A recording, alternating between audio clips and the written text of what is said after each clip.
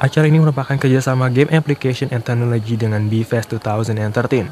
Games ini dibuka untuk umum seperti siswa SMA dengan hobi bermain game dengan berbagai kompetisi game, seminar, exhibition, workshop, lomba kostum player character game yang diadakan 5 hari dari tanggal 2 Oktober hingga 6 Oktober 2013.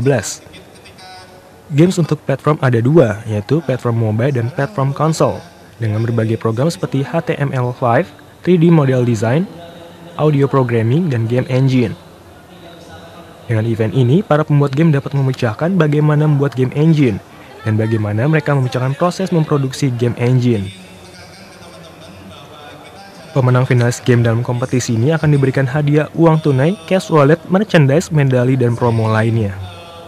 GAT Festival ini juga memberikan beasiswa full di jurusan Game Application sebesar 100 juta rupiah dan uang tunai untuk pemenang siswa SMA yang menjadi juara satu. GAT Festival 2013 ini bertujuan untuk mengenalkan jurusan Game Application kepada para mahasiswa dan siswa SMA. Dalam perkembangannya, orang banyak mengetahui manfaat dan keunggulan dari game application di dunia nyata. Terus baru sih, um, belum lama juga. Uh, kan kebetulan di ATFS 2013 uh, sebenarnya kan kita mau menyebarkan game itu positif uh, nggak hanya kita tuh nggak mau dinilai dari orang tua kalau game yang kita mainkan itu selalu negatif apa apa yang kita mainkan pasti dibilang kamu ngapain main belajar. Sebenarnya dari game ini sendiri ada beberapa nilai positif yang orang tua nggak mengerti.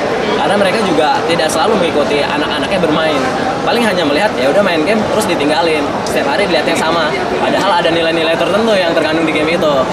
Nah itu tujuan pertamanya. Cuma kita mulai berkembang lagi. Nah, dari dari Bino sendiri, kita jurusan game application. Belum semua orang belum mengenal. Kayak contoh dari jurusan sastra itu sangat belum terjangkau gitu. Kan kita dari Kijang sama Anggrek itu lumayan jauh juga.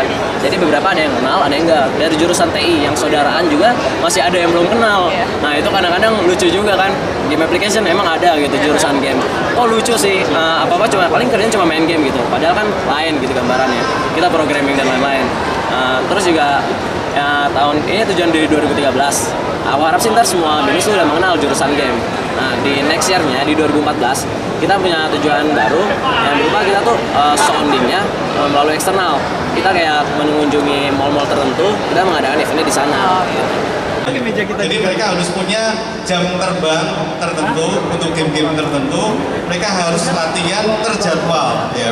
Jadi sambil ada jadwal kuliah, jadwal belajar itu jadwal